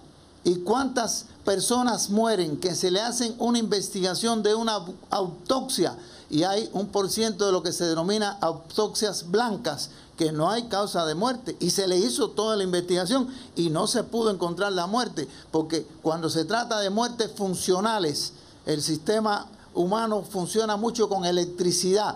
Cuando se trata de muertes funcionales no hay elemento objetivo para decir que murió porque no tenemos los elementos. No es lo mismo un paciente en una sala de terapia conectado a monitores que lo estás monitorizando y tú estás viendo y puedes ver que murió en las condiciones de un infarto agudo en miocardio, porque incluso el infarto, el infarto tiene primero manifestaciones que primero no tiene ninguna, después tiene manifestaciones eléctricas, después tiene manifestaciones enzimáticas y después tiene manifestaciones de daño celular. Por tanto, aun cuando se le hubiera practicado la necrosia en aquel momento, se hubiera estudiado el corazón, podría haberse muerto de un infarto y no poder probar que se murió de un infarto. Por tanto, científicamente, nosotros, lo que no podemos, el perito jamás puede decir mentira. El perito con dignidad tiene que decir la verdad. Y la verdad es que no se pudo probar que murió de una muerte natural, ni tampoco hemos podido probar que murió de una muerte violenta, porque lo otro sería satisfacer una necesidad de alguien que nosotros como peritos no nos vamos a comprometer. Si hubiéramos probado una cosa o la otra, entonces aquí en el laudo la hubiéramos puesto. Aquí quedaron muestras remanentes que están guardadas. Si mañana apareciera una nueva información y hubiera que buscar una sustancia tóxica específica, hay, hay material guardado para poder hacer cualquier otra investigación futura. Por eso en la intervención anterior decía, científicamente hablando, esto es un caso que no está cerrado, porque ni probamos una cosa ni probamos otra. Y hemos trabajado mucho para llegar a esa conclusión. No es una conclusión superficial ni para salir del paso, sino es una conclusión de mucho tiempo, de muchos peritos, de muchas instituciones que se reflejan en ese laudo con mucho rigor científico para decir científicamente hablando que ni está probado una cosa ni está probado la otra. Y eso es ciencia, no es decir lo que alguien quiera que se diga. Podemos seguir para a próxima pergunta.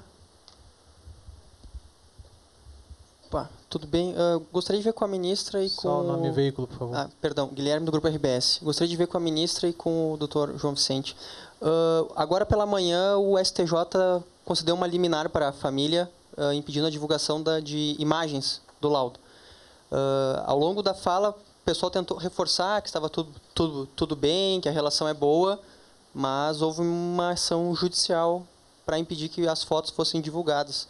Por isso que o laudo vai ser revisado, a relação, a gente, a gente quer entender por que, né, que foi entrado com uma ação na véspera da divulgação do laudo. Bom, em primeiro lugar, eu voltei esta ontem à noite do segundo Fórum Mundial de Marrakech, onde eu chefiava a delegação né, do, do, do Brasil na participação lá do Fórum Mundial. Então eu fiquei fora do Brasil de quarta até ontem. Né?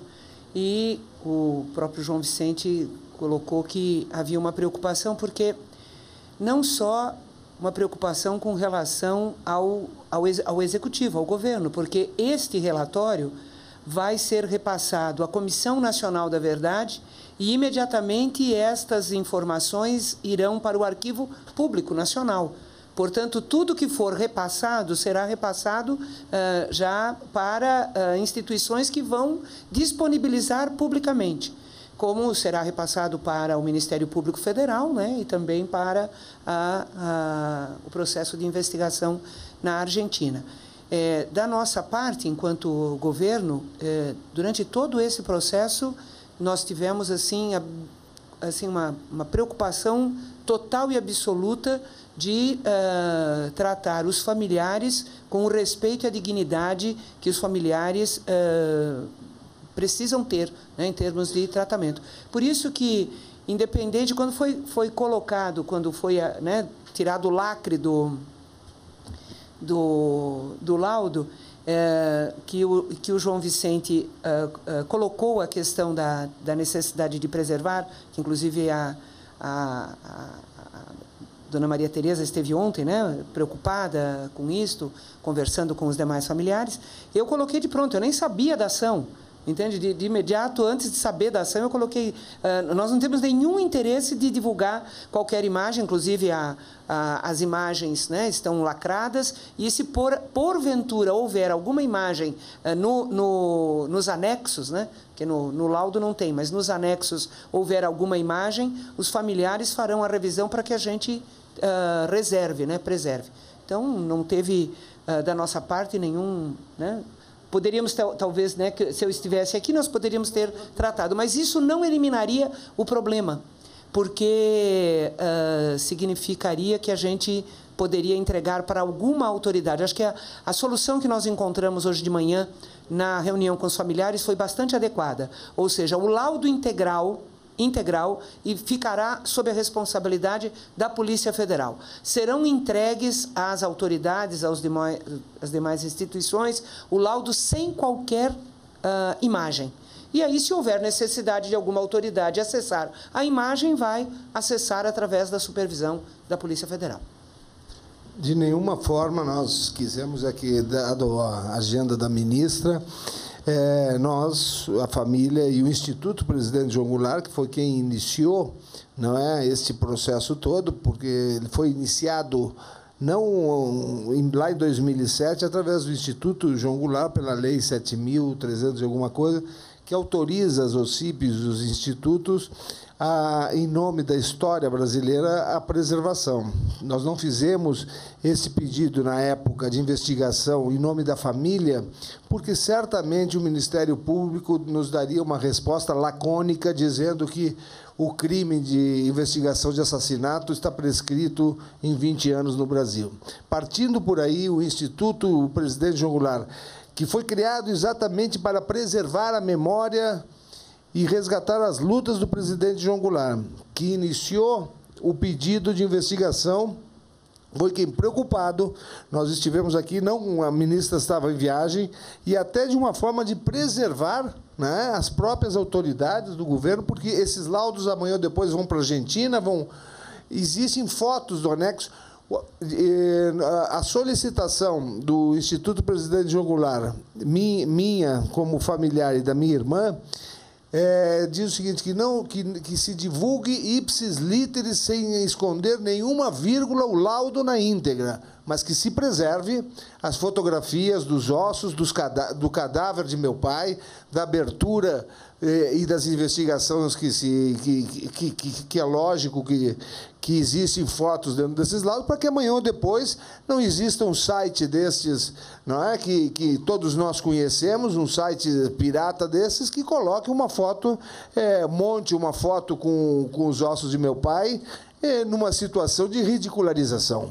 Então, o intuito foi esse, já não foi uma, uma, uma, uma ação contra o, o Estado, pelo contrário, para, até para preservar, e a ministra, na primeira reunião agora, diz: vamos sentar e vamos ver como é que nós vamos fazer isso. Ou seja, foi um ato de preservação da dignidade da família do presidente João Goulart. Obrigado. Então vamos nos encaminhando para a última pergunta agora, ministra. Por favor. Olá, ministra. Eu queria só é, insistir nesse ponto da questão de que nenhuma substância foi encontrada, né? Porque acho que está causando uma dúvida aqui o fato de que foram encontrados shampoo, foram encontrados resquícios do remédio, enfim. É, Daria para a gente dizer, então, que aparece o relatório parece apontar para uma baixa probabilidade do presidente ter sido envenenado, já que foram investigadas 700 mil substâncias e nenhuma foi encontrada? Eu sei que os senhores falaram que existe uma infinidade de substâncias, mas no início os senhores mesmos disseram que foi fechado um cerco nas substâncias mais prováveis, usadas na época, etc. Sim, aquilo que dissemos, e não devemos esquecer aqui aquilo que é o objetivo da perícia. O objetivo da perícia é encontrar substâncias que possam explicar a causa ou as circunstâncias da morte. E quanto a isso, não encontramos. Mas também não podemos negar enquanto, enquanto, enquanto peritos enquanto laboratório, aquilo que detectamos. E o que detectamos, está no laudo, são substâncias que, estão, que resultam perfeitamente de exposição ambiental normal e que é perfeitamente normal encontrar em, em pequena quantidade. Portanto, para efeitos da causa ou das circunstâncias da morte, nenhuma das substâncias presentes ou nenhuma das substâncias, nenhuma substância foi encontrada. E das presentes, não tem qualquer nexo de causalidade com as circunstâncias ou a causa da morte. Un detalle relacionado con eso es que, por ejemplo, para que logremos entender, en el deporte se hace una competencia y hay un estudio de dopaje en la competencia, se toman muestras. ¿Y cuántos de nosotros hemos escuchado que años después de la competencia dicen que la persona que ganó la medalla de oro está descalificada porque fue encontrado una sustancia?